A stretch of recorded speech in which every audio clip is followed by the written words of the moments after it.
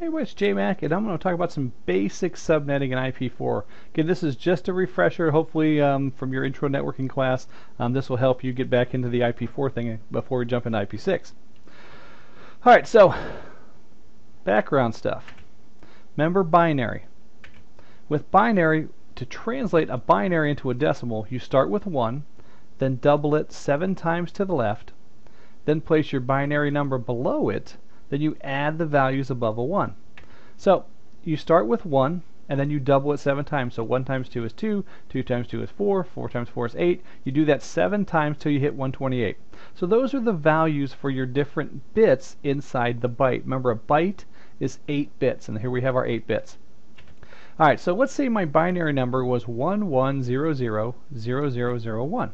So first thing I do is I make my number line, start with 1, double it 7 times to the left, then I put my binary number underneath it. Then I add the values above a 1. So there's a 128 above a 1. There's a 64 above a 1. That's 0. Can't add that. Can't add that. Can't add that. Can't add that. Can't add that. And there's a 1. So I need to add 128 plus 64 plus 1. So 128 plus 64 plus 1 is 193. All right. Hopefully that covers your binary stuff and, and kind of refreshes that for you. All right. With IP4, we talk about the first three classes, and there's A, B, and C. Now, the very first octet, the first number in, this, in the IP address, tells you what class it is. If that first number is 1 through 127, it is a class A. Some charts tell you 1 through 126, and that's okay. That's like the usable class A. 127 is actually a class A IP address because in order to be a class A IP address, the first bit, the first binary bit, has to be 0. So 127 fits that definition, so 127 is technically a Class A IP address. Now, you can't use 127 because it's reserved for loopback on your NIC card. So the usable, it's only 1 through 126. Now, the default subnet mask for a Class A is always 255.0.0.0 we the, by default we mean we can never change that first 255 that first 255 will always be there. We can only make changes in the second third and fourth octet where the zeros are. Second third and fourth. So with class B it's 128 through 191 255 25500 meaning we can only make changes in the last two octets. And then class C 192 through 223 meaning we can only make a change in the last octet. Now you may see your subnet mask written through slash notation.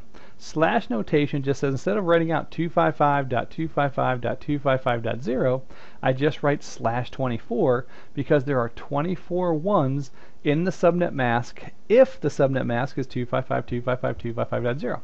So the slash notation for a class A would be slash 8 because there's 8 ones here. Slash notation for class B would be slash 16 because there's 8 plus 8 would be 16 ones. And then slash notation for class C is slash 24 because I got 8 ones plus 8 ones plus 8 ones. So I have 24 ones. So instead of writing all this stuff out, I just do slash 24. All right, now formulas. I do them a little bit different in your book, and maybe they're simplified, and there are other ways to do this.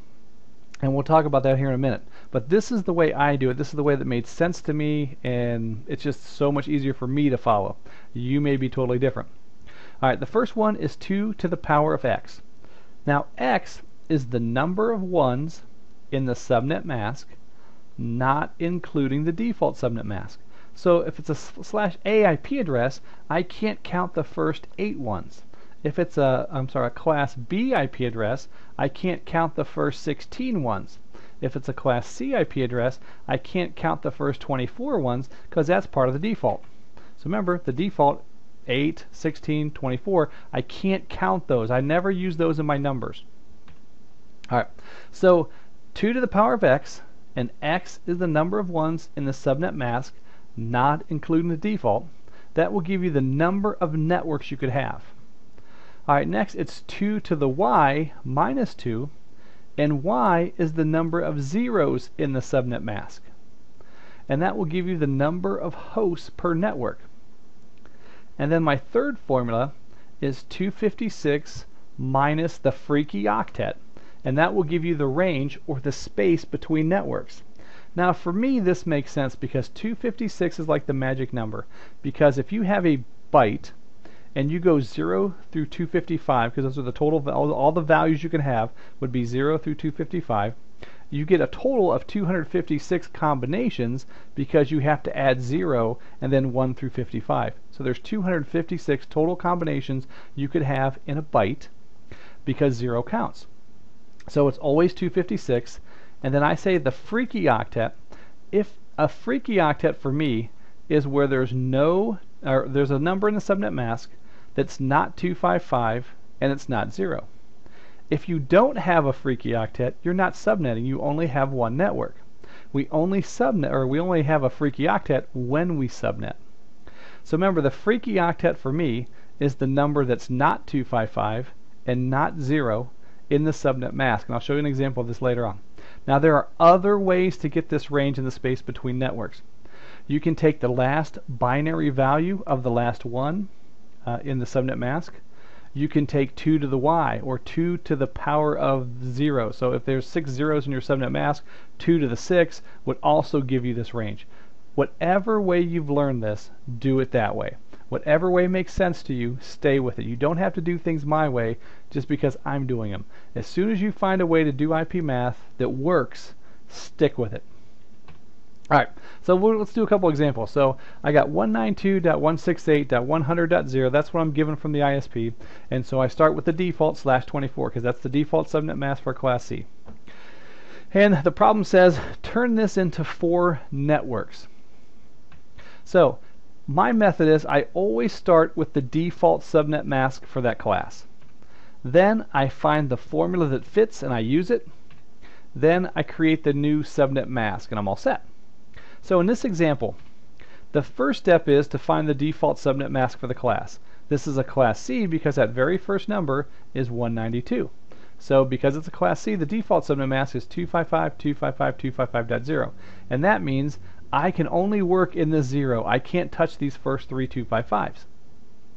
All right, the second step is apply the formula that fits. Now they're asking me, give me four networks. Now I got three formulas. One is for number of networks and they're giving me the number of networks. So I'm going to use 2 to the x equals 4. They're always going to give you one part of the formula. They're either going to give you the x or they're going to give you what 2 to the x equals. In this case, they gave me what 2 to the x equals. They're saying, hey, 2 to the x equals 4. If that's the case, then x must be 2 because 2 to the 2 gives me 4. So 2 to the power of 2 gives me 4. So x is 2.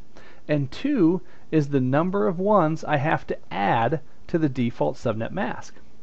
So if the subnet mask, the default subnet mask is slash 24, and I got to add two ones, then the new subnet mask is slash 26. Then if I convert that out, 255 would be 8 ones, another 255 that adds 8 more, so 16, another 255, there's 24 ones, so I got two ones left, which would be 192. All right, let's look at this a different way. Let's say they say, hey, now you need 50 hosts per network. So they're changing. They're saying, don't don't give me networks. Give me the number of hosts. Give me 50. So remember the formula. Find the default subnet mask for the class. Apply the formula that fits, and then find the new subnet mask.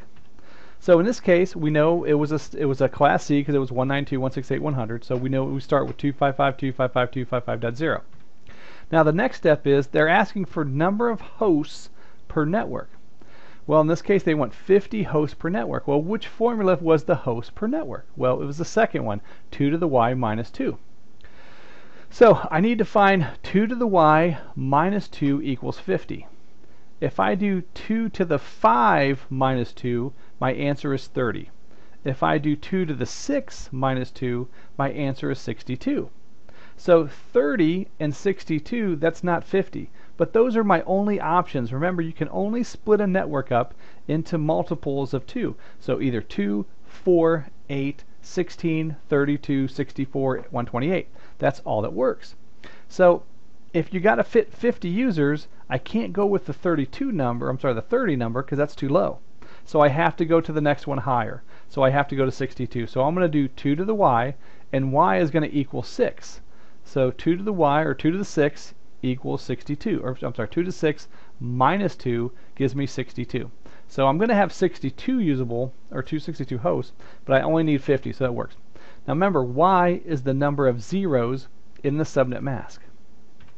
So, if the subnet mask is always 32 bits, and six of them are zeros, then that means 32 minus 6 is the number of ones that are left. So my new subnet mask is 32 minus 6 or slash 26, which again, it goes back to the same one as the last time, 255.255.255.192. Now, this last thing um, is something that I kind of do differently than especially what, what you see in your book. So kind of stay along. This is kind of weird. So out of all those two, those two first two examples, we got 255.255.255.192. That was our new subnet mask. Now they come to you and say, hey, I need to know what the usable IP addresses are in those four networks you just created. Well, in order to do that, I make a range chart. And in order to make a range chart, I take 256 minus the number in the subnet mask that's not 255 and not 0. Well, in this case, that only fits 192 because these are all 255s. So 192 is what I call the freaky octet. So I take 256 minus 192 gives me a space of 64 between ranges. Now remember, I said you can do this, you can find this range any way you want to, and there's, there's a bunch of different ways. Um, this might work easier for you. If I take 192, which is the freaky octet, and I convert it to binary, it would be 11000000. If I take the binary bit value of the last one, it would be this one. So remember, this is 128, 64, 32. So 64 is the value of the last one in the subnet mask. So you can get your range that way too. Whatever way works for you, stick with it.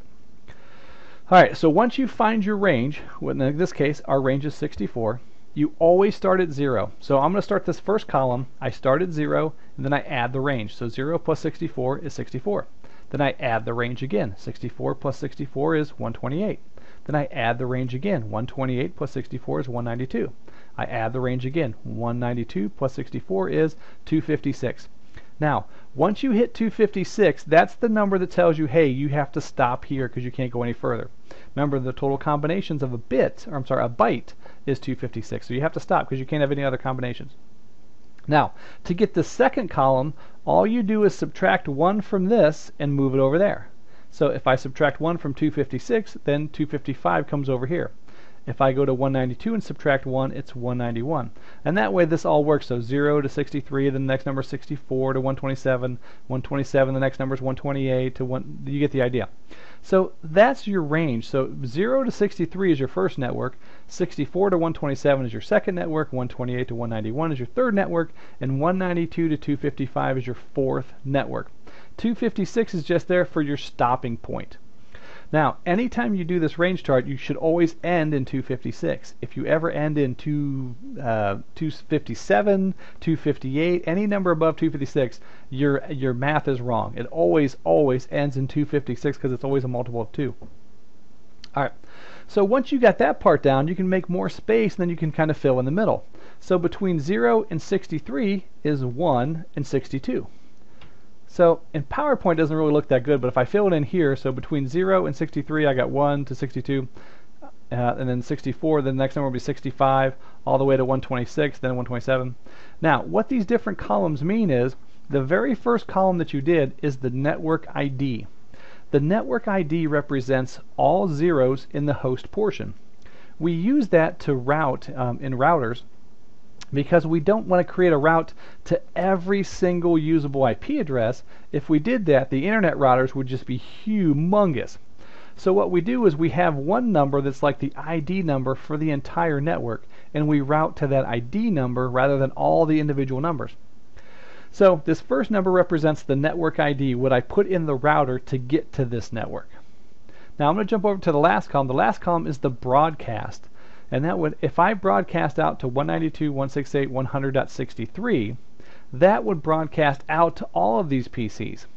So any PC that's here between 1 and 62, if he starts up and he doesn't know how to get somewhere, he'll send out a broadcast. And that broadcast will go out to all the other PCs on his network. Uh, and then hopefully somebody returns the answer that he's looking for. So the first column is the network ID all zeros in the host portion. I cannot assign that to a PC. We use that for routing.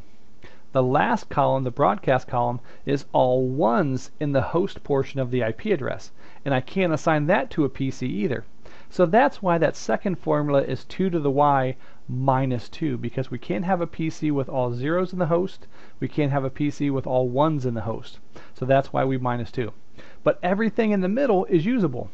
So there's my first usable IP address of the first network, and there's my last usable IP address of the first network. Everything in the middle is usable, 1, 2, 3, 4, all the way up to 62. So when you make this range chart real quick, then you can answer any question they throw at you. What's the first usable IP address of the second network? 65. What's the last usable IP address of the third network? 190. What is the third usable IP address of the fourth network? Well, the first is 193, so then 194, 195. So 195 would be the third usable IP address of the fourth network. What's the broadcast of the first? 63. So you can answer all those questions by just taking 0, add the range, add the range, add the range, add the range, then minus 1, move it over here, minus 1, move it over here, fill in the middle, boom, you're all set. All right, again, we'll probably touch on this in the first week of class, but hopefully this is a refresher for you and you've already had this, and I'm just kind of like uh, clearing out some cobwebs for you. Um, but again, if you have any questions, make sure you bring them up in class. All right, see you there.